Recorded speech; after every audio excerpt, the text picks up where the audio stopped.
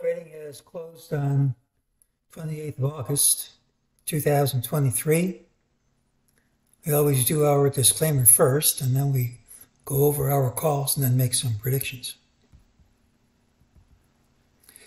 So my trading plan for tomorrow, which is the 29th of August 2023, please remember I can be dead wrong.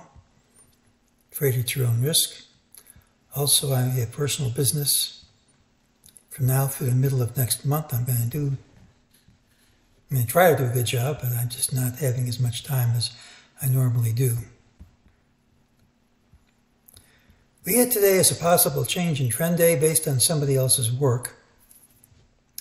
Look for the pattern with the early high, which is this, and tomorrow should also have the early high. I was hoping today was going to be a low, and I said unless we gapped up smartly, we hit a target of 4380.11. And I said we had lower targets, and if we went under this 4317.52, I'd go long. Well, we gapped up. According to the rules, the call's killed before the open. There's no call. Let's take a look at uh, what MeJT had to say for today and see if we can actually get a call for tomorrow. During the day, we had this gap up, a big rally. MeJT said optionally a lower target was going to print. This is going to work 95% of the time. It's not as good as my usual targets, but 95% isn't bad, and we got the lower target. This looked pretty ugly. MeJT said this drop wasn't going to hold. We are going to retrace, and we did. So that's already played out. So we have to rely on other things. Now, we had various price targets for lows. We originally looked for a low under 4,200. And we had a number of things around the MeJ, around the uh, DeMark TDST lines in the 4166 area. Here's his TDST line on the daily chart. Here's his TDST line on the weekly chart. And in this chart, that's support. We're still operating under his sell signal, which was given last month.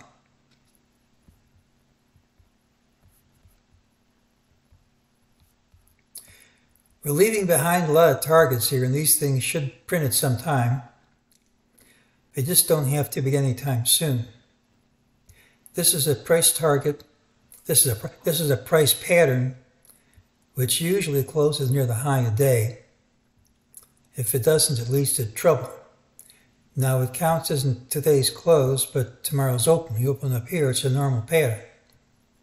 But if we don't open up here, it's negative. And don't forget, we also gapped up, hit a higher high, closed under all these highs, couldn't hold it.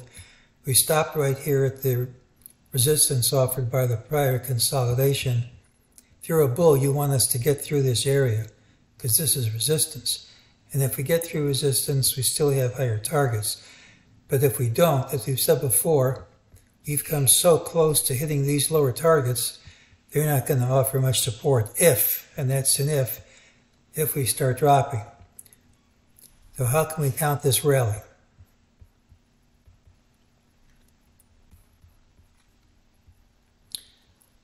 Well, we had this as possible A, possible B.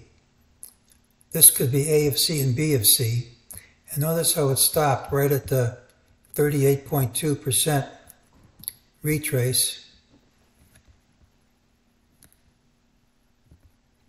38.2% retrace of this drop. Now, usually, if you break if you break through this, you'll go up to the 61.8, but stopping it the 38.2 is entirely possible.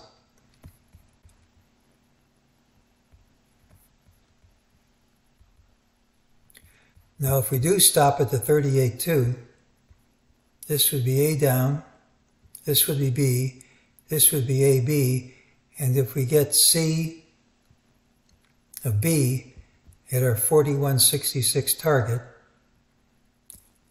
then C and A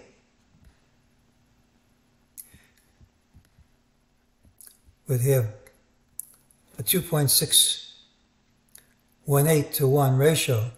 So with our 4166 target, there's wave balance of multiple degrees. Now, as I've said before, just because that number works, it doesn't mean some other number won't. And just because it works if we start dropping doesn't mean we're going to start dropping. But we are at resistance. We are at a time when other people's work calls for high.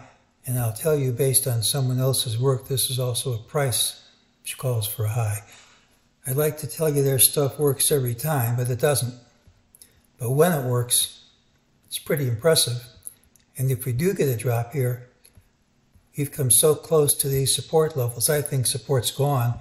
And if we do start dropping, particularly if these fall early, like the gapping under here, which hasn't happened yet, but if that happens, I just don't have much support before 41.66 in spite of all these sentiment indicators, which are quite positive.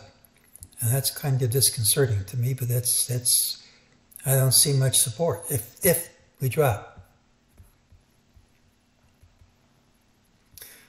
Well, today's pattern has really high. Tuesday's pattern has really high. Doesn't mean you won't gap down. We gapped up, hit a higher high, and then closed under intraday highs.